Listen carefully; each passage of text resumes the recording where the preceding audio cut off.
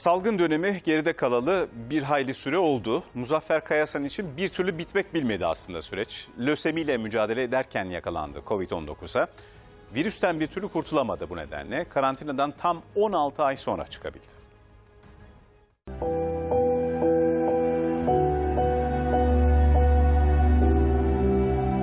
Çocuklarıma sarılmak istiyorum. Eşime sarılmak istiyorum.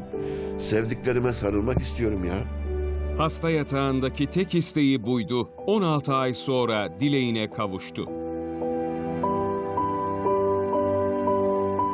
Bu süre içinde e, yeni doğan bir torunum vardı. Benimle beraber ben çıktığımda o iki yaşındaydı düşünün yani. 56 yaşındaki Muzaffer Kayasan'ın 16 aylık korona esareti yaptırdığı 86. testte son buldu. Covid negatif.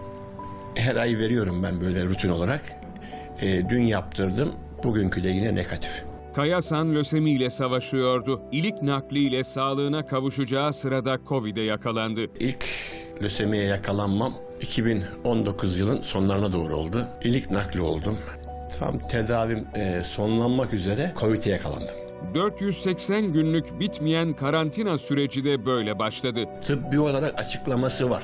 Şöyle, e, lösemi olduğum için bağışıklık sistemim zayıf olduğu için Covid'i atlatamıyorum olduğu söylendi. Çok zor. Yani düşünün 16 ay karantinada kaldık. E, sadece hemşire doktor. Kimse yanımıza gelemiyor. E, ailemizden görüşemiyoruz.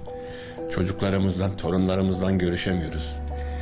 E, sosyal hiçbir faaliyetin yok. Yaşam tarzın tamamen eksiye düşmüş. O şimdi sağlığına kavuşmanın mutluluğunu yaşıyor.